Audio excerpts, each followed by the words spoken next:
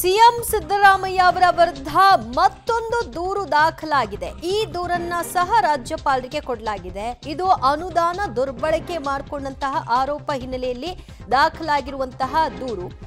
ಸಾವಿರದ ನಾನ್ನೂರ ತೊಂಬತ್ತ ನಾಲ್ಕು ಕೋಟಿ ಈ ಹಣ ಏನಾಗಿದೆ ಅನ್ನೋದಕ್ಕೆ ಸಂಬಂಧಪಟ್ಟ ಹಾಗೆ ವಿವರಣೆ ಬೇಕು. ನಾನು ಇದಕ್ಕೆ ಸಂಬಂಧಿಸಿದ ಹಾಗೆ ಇಲಾಖೆಗೂ ಪತ್ರ ಬರೆದಿದ್ದೀನಿ.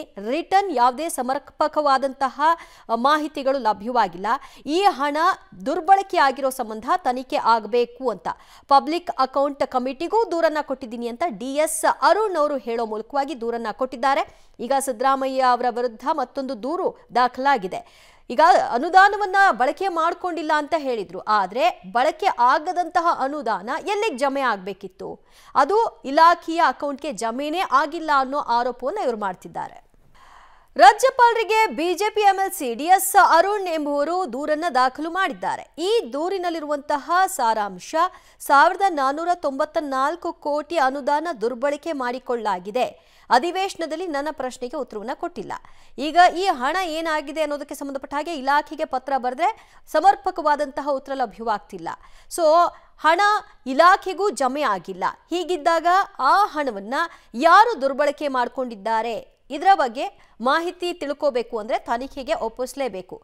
ತನಿಖೆಯ ಮೂಲಕವಾಗಿಯೇ ಈ ಹಣ ಎಲ್ಲೋಯ್ತು ಅನ್ನೋದರ ಬಗ್ಗೆ ನಮಗೆ ಗೊತ್ತಾಗಬೇಕು. ಯಾಕಂದರೆ ಇದು ಸಾರ್ವಜನಿಕರ ಹಣ.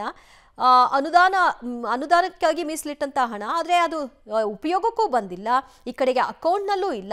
ಹೀಗಿದ್ದಂತಹ ಸಂದರ್ಭದಲ್ಲಿ ಯಾರು ಯಾವ ಕಾರಣಕ್ಕಾಗಿ ಇದನ್ನು ಬಳಕೆ ಮಾಡಿದ್ರು?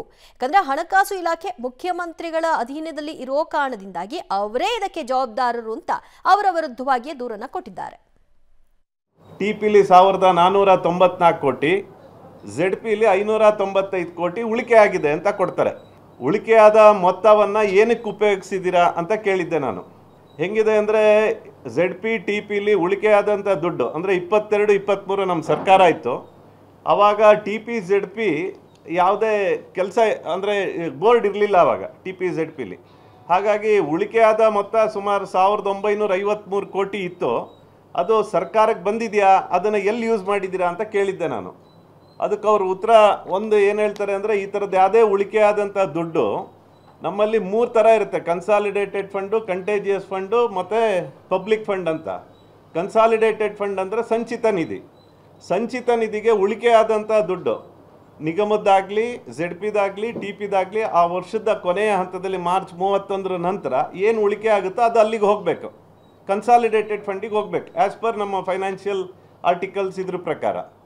ಆ ದುಡ್ಡನ್ನು, ಅದು ಕನ್ಸಾಲಿಡೇಟೆಡ್ ಫಂಡಿಗೆ ಹೋಗಿದ್ದ ದುಡ್ಡನ್ನು ಮತ್ತೆ ಅವರು ಅದನ್ನು ಬಳಕೆ ಮಾಡ್ಕೋಬೇಕು ಅಂದರೆ, ಆ ದುಡ್ಡನ್ನು ಬಳಕೆ ಮಾಡ್ಕೋಬೇಕು ಅಂದರೆ ಅದು ನಮ್ಮ ಲೆಜಿಸ್ಲೇಚರ್ಸನ್ನು ಅನುಮೋದನೆ ತಗೋಬೇಕು.